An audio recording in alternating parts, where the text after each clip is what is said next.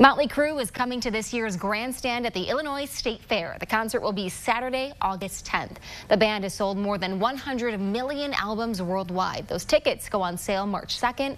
For more information on how to buy tickets and for more on the fair, head over to WCIA.com.